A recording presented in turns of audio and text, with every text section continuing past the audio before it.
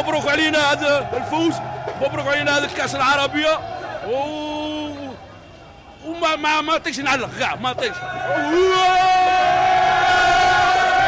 هي كانت المباراة على الأعصاب وكاع مع الشقيقة التونسية وكاع والحمد لله كانت لنا نتيجة مباركة. لينا وليهم إن شاء الله ونادي الفوز الشعب الفلسطيني. عشنا على الأعصاب والحمد لله اللي زيكيب ليكيب هذه خرجت خرجت ما شاء الله. وفرحونا نادوا الكاس هذه نادوا الشعب الجزائري والشعب الفلسطيني.